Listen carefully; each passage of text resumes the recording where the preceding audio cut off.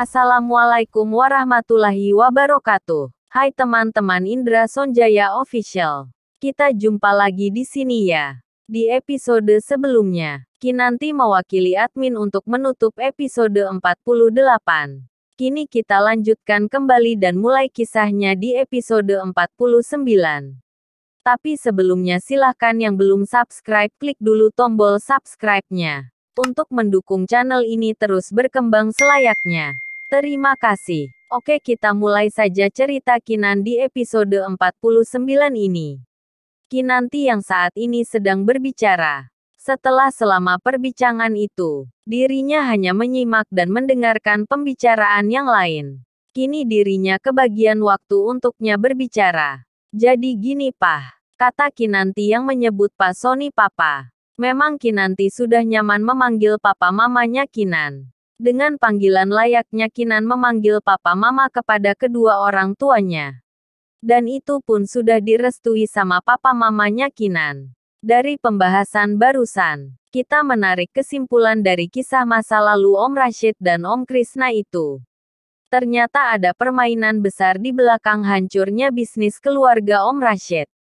Dan sudah diputuskan, kita akan menunggu Patrisno dan timnya yang akan melacak dan mengusut kasus besar ini. Dengan menggerakkan intel terbaik di kepolisian. Soal nanti akan diurus menurut perdata atau pidana. Kita menyerahkan semua keputusannya kepada Om Rashid dan Rian. Kita hanya akan membantu mengusut kerumitan masalah keluarga Om Rashid saja. Begitu inti pertemuan barusan itu, Pah. Kata Kinanti yang mengakhiri penjelasan terkait hasil pertemuan barusan. Mendengar penjelasan Kinanti, Pak Sony pun manggut-manggut. Lantas bicara, baguslah kalau begitu. Pokoknya saya ingin masalah teman saya ini menjadi terang benderang. Bagaimanapun caranya silahkan teman-teman urus. Agar para pelaku tak lolos dari kejahatannya. Kita harus membuat efek jerah bagi orang-orang yang licik dan picik seperti itu. Berapapun biaya untuk mengungkap kasus ini, saya tidak peduli. Yang penting masalah ini bisa tuntas. Dan ke depannya jika ada kebutuhan untuk biaya operasi buat tim Patrisno atau biaya lainnya. Teman-teman bisa langsung ke anak saya atau Pak Bagus ya.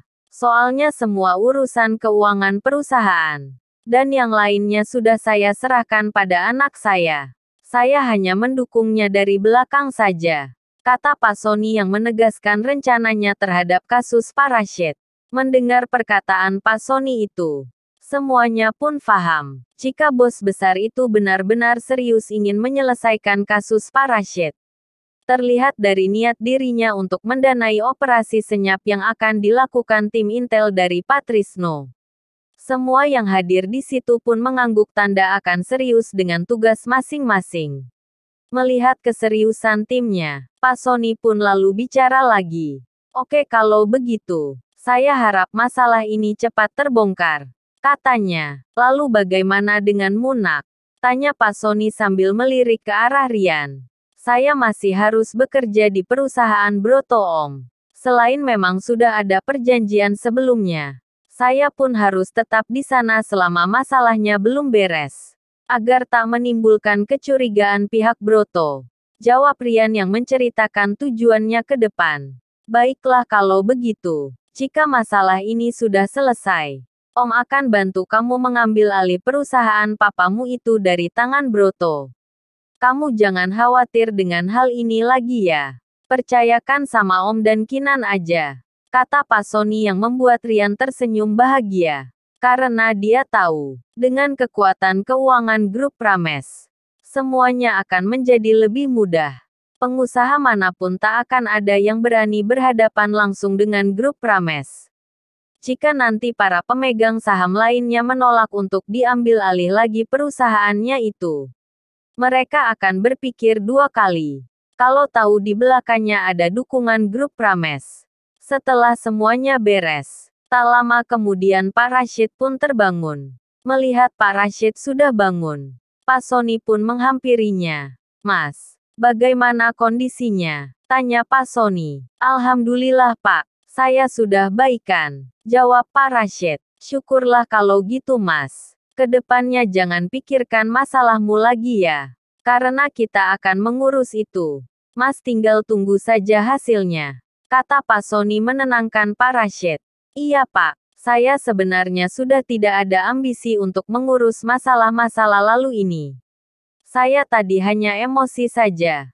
Karena sekian lama saya dikhianati teman yang sudah saya anggap saudara sendiri. Saya benar-benar tak menyangka dia akan memperlakukan saya seperti itu. Kata Pak Rashid sambil mengatur nafasnya. Karena setiap dia memikirkan itu, selalu saja organ tubuhnya bereaksi. Dari mulai pernafasannya menjadi tak teratur hingga otot-ototnya pun menegang.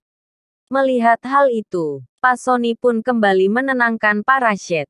Sudahlah Pak, Jangan pikirkan itu lagi. Biar kita saja yang mengurusnya. Lalu Pak Sony pun memanggil Rian. Nak kamu ke sini, kata Pak Sony sambil melirik ke arah Rian yang masih duduk di samping Kinan. Dan Rian pun segera menghampiri Pak Sony. Setelah didekatnya, Pak Sony pun bicara, kamu dan papamu sekarang tinggal di mana nak?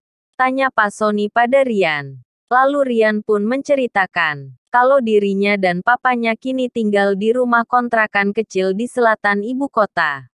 Mendengar jawaban Rian itu Pak Sony lalu bicara lagi.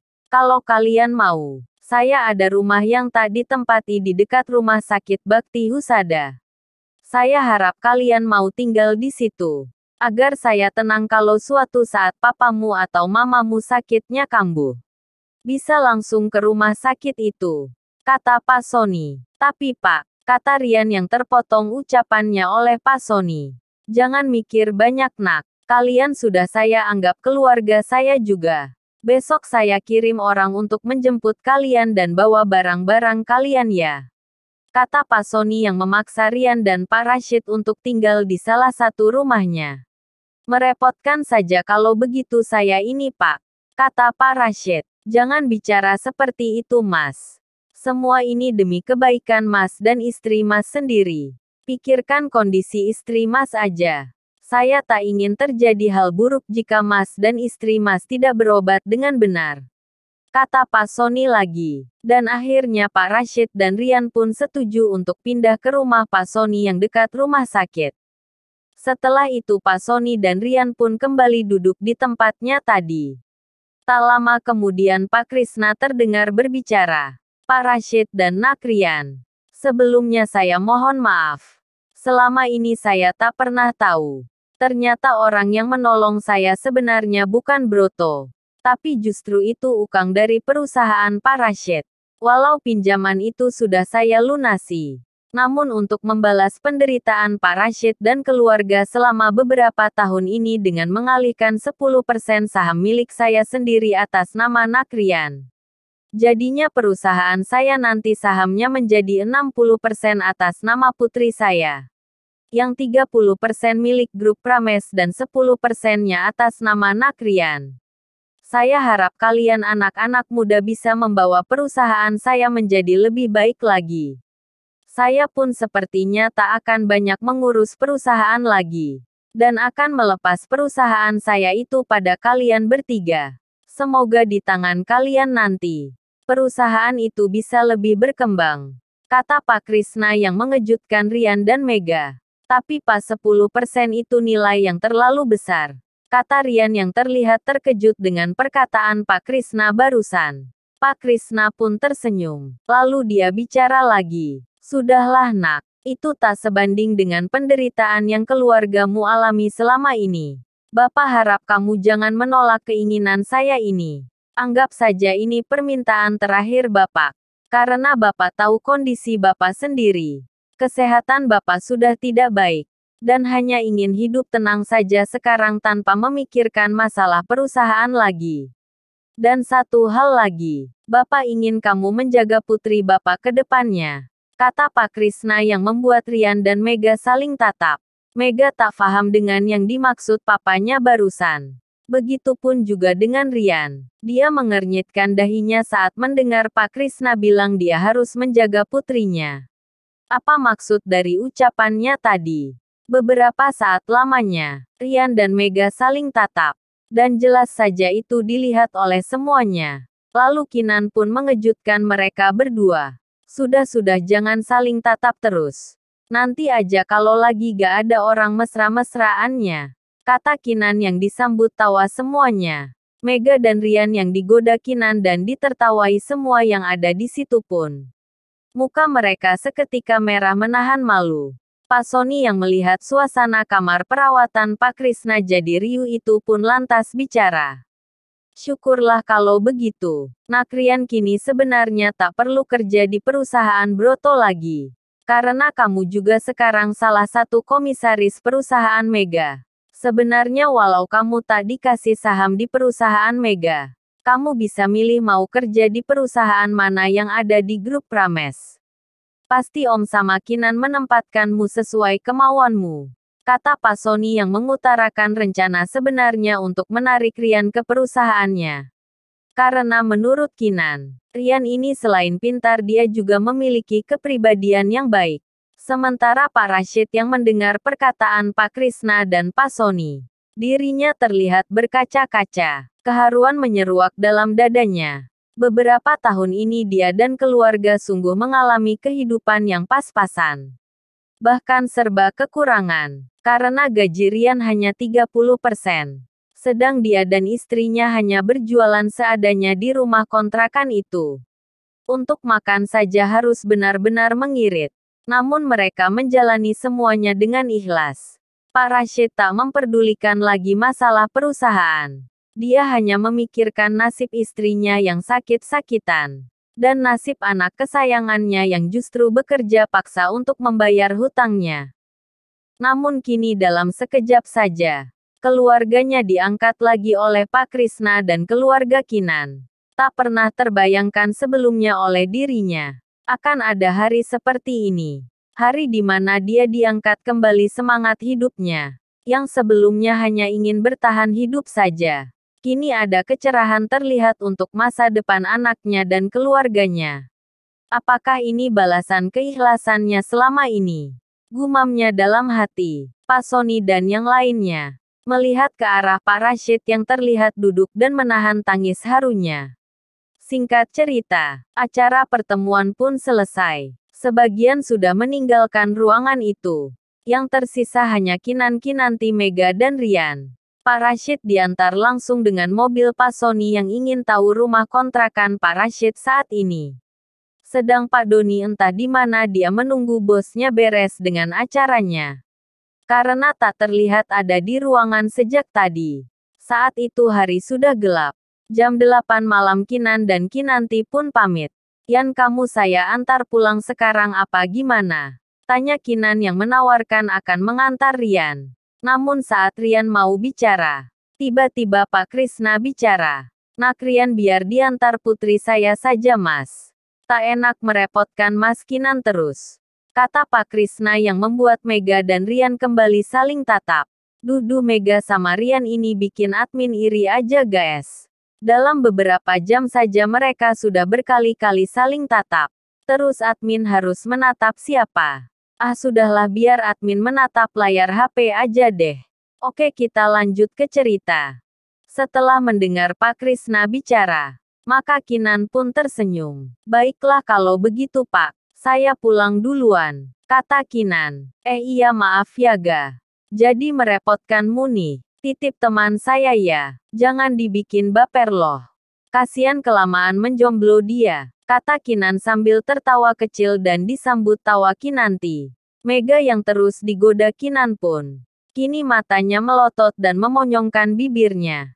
Namun jauh di lubuk hatinya. Mega merasakan perbedaan pandangan dirinya pada Rian dibanding dengan Bram. Entah kenapa dia merasa nyaman jika ditatap Rian.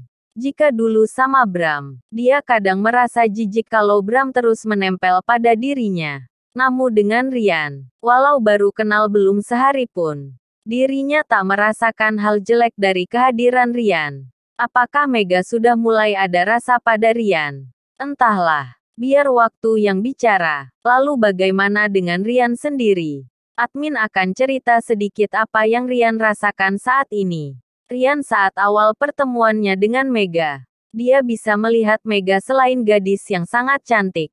Mega pun terlihat memiliki kepribadian yang dia sukai. Namun sampai sejauh ini, Rian belum berpikir macam-macam terhadap Mega. Justru dirinya merasa berhutang budi pada Mega dan ayahnya yang kini akan memberinya sebagian saham perusahaannya. Perasaan Rian malah merasa segan dengan Mega Gas. Apakah perasaan Rian akan berubah seiring waktu? Jika dirinya intens berhubungan dengan Mega, kita lihat saja nanti. Oke kita kembali ke topik. Setelah Kinan dan Kinanti pulang ke rumah masing-masing, Rian pun segera pamit dan diminta Mega untuk mengantarkannya. Mereka pun kini sudah berada dalam satu mobil. Dan terlihat, Rian kini sedang berada di balik kemudi mobil sport milik Mega. Sepanjang jalan itu mereka terlihat saling diam. Hingga sangat terasa suasananya menjadi kaku. Karena suasana seperti itu, mereka ciptakan sendiri. Rian yang merasa sungkan terhadap Mega. Dirinya tak berani bicara sepatah kata pun. Sedang Mega sendiri bingung. Kenapa papanya seolah ingin dia dekat dengan Rian? Apa papanya ingin menjodohkan dirinya dengan Rian secara sembunyi-sembunyi? Namun tetap saja, di hati Mega memang merasakan Susana kaku saat ini pun tetap menyisakan kenyamanan di hatinya saat bersama Rian. Tak ingin terus diliputi kekakuan. Mega pun akhirnya mulai bicara. Mas, kata Mega pelan tanpa melirik ke arah Rian. Iya ga, jawab Rian yang juga tetap menatap ke depan. Masih jauh ga rumahnya mas? Tanya Mega lagi. Lumayan ga, masih setengah perjalanan lagi nih. Jawab Rian yang masih tak berani melirik ke arah Mega. Oh masih jauh ya. Kalau gitu, gimana kalau kita makan dulu ya? Aku udah lapar dari siang belum makan. Ujar Mega. Ya sudah kita makan dulu kalau gitu. Kata Rian yang langsung menepikan mobil Mega itu ke pinggir jalan. Kok berhenti di sini mas? Tanya Mega heran. Dia tak melihat rumah makan di sekitar itu soalnya. Iya kan kita mau makan dulu ga? Kita makan di sini aja ya. Uangku cuma cukup buat makan di tempat seperti itu. Kata Rian yang menunjuk ke arah depan mobil yang ditumpangi mereka. Mega pun menatap ke arah yang ditunjuk Rian. Dia melihat di sana ada jongkok kaki lima yang menjual nasi goreng dan pecel khas Lamongan. Ayo ga, kata Rian seraya keluar dari mobil. Mega yang semula ragu untuk makan di tempat seperti itu pun. Akhirnya dia pun keluar dari mobil dan mengikuti Rian yang sudah berjalan ke arah tukang nasi goreng itu. Dan Rian pun memesan nasi goreng. Lalu bicara pada Mega. Kamu pesan apa ga? Tanya Rian. Samain aja mas. Jawab Mega yang memang baru pertama kali makan di tempat seperti itu. Dia masih bingung dengan menunya. Dan tak lama kemudian nasi goreng pesanannya pun sudah tersaji di hadapan mereka. Yang kini duduk berhadapan di meja pedagang kaki lima. Yang berada tepat di pinggir jalan. Saat mereka menikmati makanannya. Rian pun bicara. Gimana ga? Enak tidak? Kamu pasti belum pernah makan di tempat seperti ini kan? Kata Rian sambil tersenyum. Mega pun tersenyum. Lalu dia bicara. Iya mas. Ini pertama kalinya. Tapi enak juga sih mas. Sahut Mega yang kembali tersenyum. Padahal dirinya sendiri merasa aneh. Kenapa dia mau aja diajak Rian makan di tempat seperti itu? Namun tak disangka olehnya. Ternyata suasananya justru sangat berbeda. Dia merasakan apa yang belum pernah dirasakan sebelumnya. Kenapa ini bikin aku nyaman banget makan di tempat seperti ini? Apa karena Rian ya? Gumam Mega dalam hatinya. Rian yang melihat Mega terlihat menikmati makannya. Dirinya pun tersenyum. Namun senyuman itu terlihat oleh Mega. Dan dia pun bicara. Kamu kenapa senyum-senyum gitu mas? Tanya Mega. Oh, gak apa-apa ga. Aku gak ngangka aja. Gadis secantik dan seelit kamu. Bisa juga makan di tempat seperti ini kata Rian yang terus terang dengan isi hatinya kenapa dia tersenyum tadi. Memang benar Rian ini mirip sekali sifat dan gayanya dengan Kinan. Mega seolah melihat Kinan dalam diri Rian. Mega menyukai Kinan. Memang karena kepribadian Kinan yang dianggapnya langka. Kini di hadapannya, dia seolah melihat Kinan yang lain. Kembali ke saat ini, Mega yang tersipu malu dikatain Rian seperti itu lantas bicara. Apaan sih mas? Perasaan aku biasa-biasa aja. Yang cantik itu Kinanti mas. Aku mah gak ada apa-apanya dibanding dia. Kata Mega yang terlihat merendah. Padahal dalam hatinya dia merasa senang dibilang cantik oleh Rian. Iya kamu dan Kinanti sama-sama cantik. Menurutku kalian berdua gadis tercantik yang pernah ku kenal. Kata Rian lagi-lagi dia jujur dengan apa yang dilihatnya. Dan jelas perkataan Rian itu membuat Mega makin tersipu malu. Terlihat dari rona mukanya yang makin merah menambah manis untuk dilihat.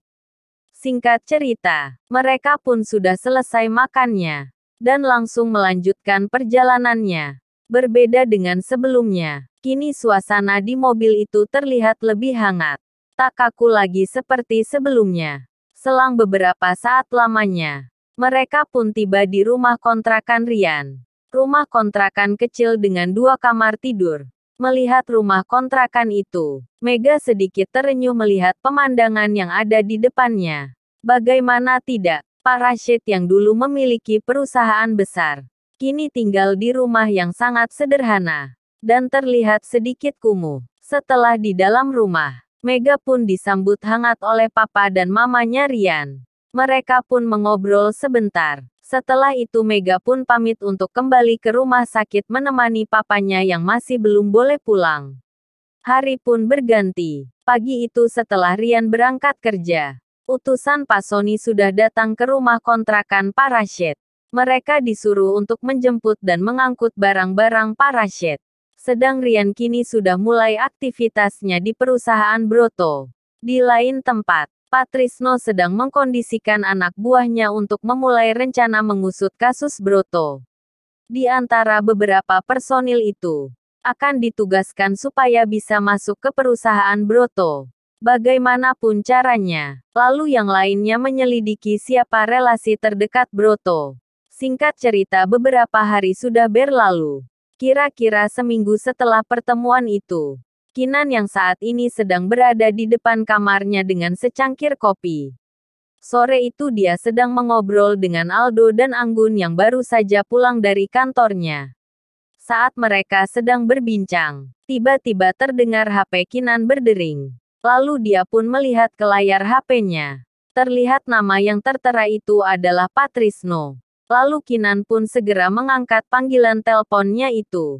Dalam telepon itu, Patrisno bilang bahwa timnya sudah bisa masuk ke perusahaan Broto.